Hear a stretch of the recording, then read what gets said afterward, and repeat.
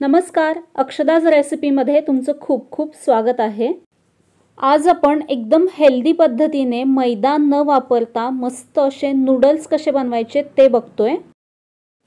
एका कढईमध्ये दीड कप पाणी घालायचं आहे त्यामध्ये चवीपुरतं मीठ घालून हे आपल्याला उकळवून घ्यायचं आहे याला उकळी आल्यानंतर यामध्ये दीड कप तांदळाचं पीठ घालायचं आहे आणि हे सगळं मिक्स करून घ्यायचं आहे हे व्यवस्थित असं मिक्स झालं की मग याचं आपल्याला गॅस बंद करायचं आहे आणि याच्यावरती झाकण ठेवून हे सात ते आठ मिनिटे असंच ठेवायचं आहे सात ते आठ मिनिटानंतर याचं झाकण काढायचं आणि हे आपल्याला एका भांड्यामध्ये काढून घ्यायचं आहे आणि हे मळून घ्यायचं आहे लागेल तसं थोडासा पाण्याचा हात लावून तुम्ही हे मळून घेऊ शकता. हे मी इथे आता पिठाचा या गोळा मळून घेतलेला आहे. हा मी आता बाजूला ठेवते इथे मी इडलीच्या प्लेट्स घेतल्यात याला आपल्याला तेल लावून घ्यायचं आहे आणि इथे मी अशा पद्धतीचा हा साचा घेतलेला आहे जो शेवचा असतो फक्त मोठ्या साईजमध्ये मी हा घेतलेला आहे.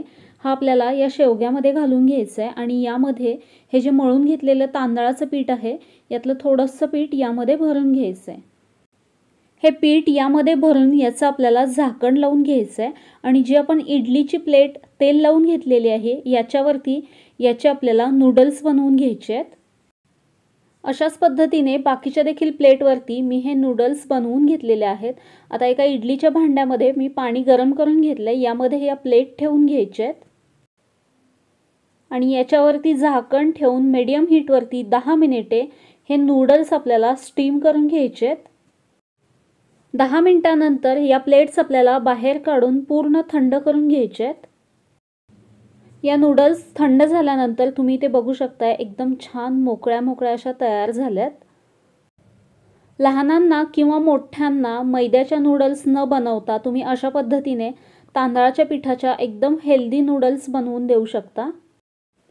एका कढईमध्ये दोन ते तीन चमचे तेल घालायचं आहे तेल गरम झालं की त्यामध्ये बारीक कट केलेला लसूण आणि थोडंसं आलं परतून घ्यायचं आहे आता यामध्ये एक कांदा घालायचा आहे असा लांब कट करून घेतला आहे मी. हलकासा कांदा यामध्ये परतून घेतल्यानंतर यामध्ये बारीक कट केलेला कोबी घालायचा आहे कोबी हलकासा परतून घेतला की यामध्ये लांब कट केलेली ढोबळी मिरची घालायची आहे आणि लांब कट केलेलं गाजर घालायचं आहे हे देखील हलकंसं परतून घ्यायचं आहे आपल्याला यामध्ये.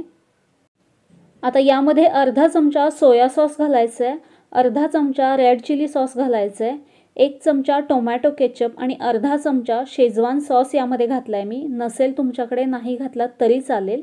आणि हे सगळं यामध्ये मिक्स करून घ्यायचं आहे हे सगळे सॉस व्यवस्थित मिक्स झाल्यानंतर यामध्ये जे आपण शिजवून घेतलेले नूडल्स आहेत त्या यामध्ये घालायचे आहेत आणि हे सगळं मिक्स करून घ्यायचं आहे हे सगळं आपल्याला हाय फ्लेमवरती करायचं आहे तर अशा पद्धतीने हेल्दी नूडल्स तुम्ही नक्की बनवून बघा.